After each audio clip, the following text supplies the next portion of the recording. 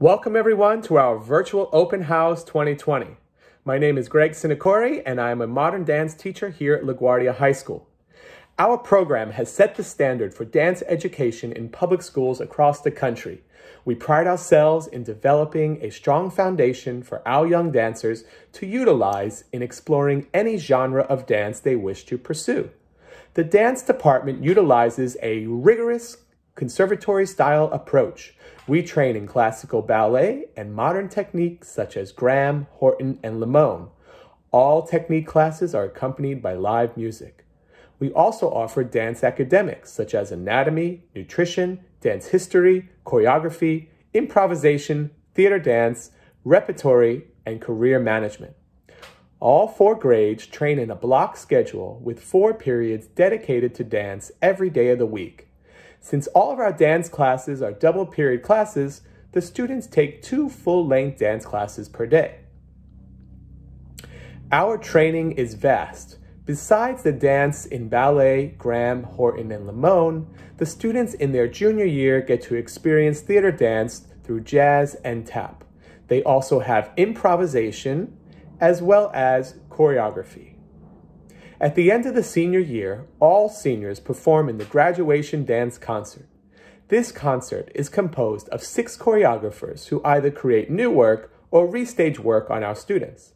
Some of the most well-known choreographers who have worked with our students most recently are Travis Wall, Darrell Moultrie, Mia Michaels, Adam Barruch, Lonnie Landon, and Dwana Smallwood.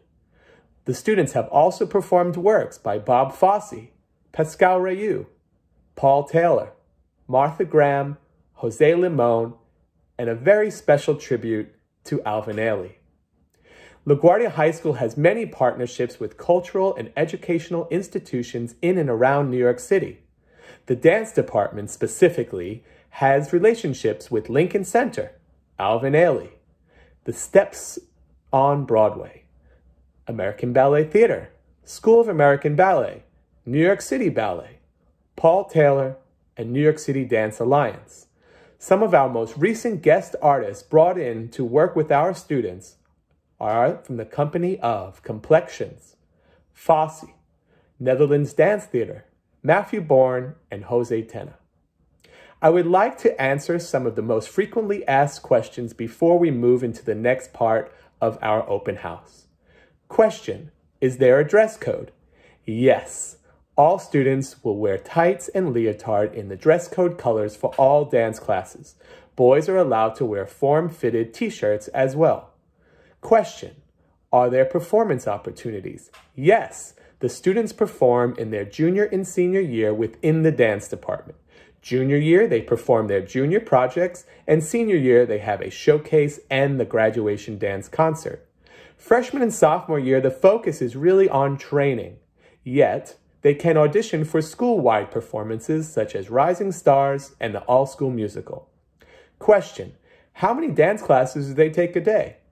The dancers take two classes per day, one ballet and one modern.